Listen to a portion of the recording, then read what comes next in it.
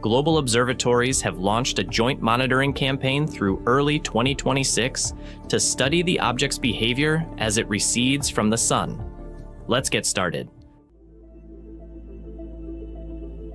Since its identification in mid 2025 as an interstellar visitor, 3I Atlas has moved steadily through the inner solar system, passing its closest point to the Sun on October 29th.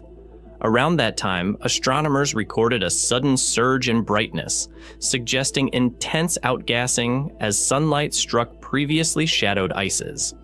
Spectral data hinted at brief jets of water vapor, carbon compounds, and trace metals venting into space.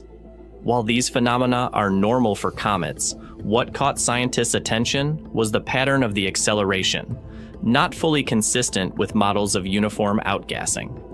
The object's motion showed small, irregular shifts, prompting researchers to refine its orbit and rotation models. Such deviations are not evidence of anything artificial, but they provide valuable insight into how interstellar material behaves under solar radiation.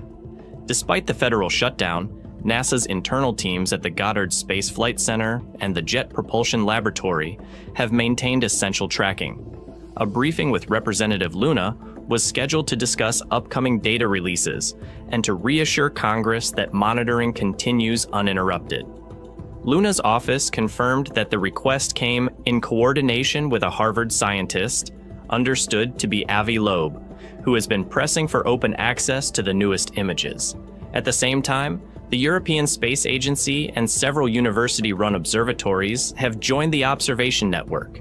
The object is now roughly 300 million miles from Earth and fading, but high sensitivity telescopes can still collect spectra to determine how its coma the gas and dust envelope, evolves as solar heating diminishes.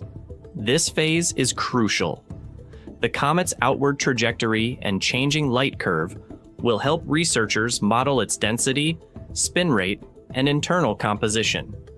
Those data will feed into the International Asteroid Warning Network's campaign, running from November 2025 through January 2026 which aims to build the most complete data set yet on an interstellar body before it vanishes back into deep space.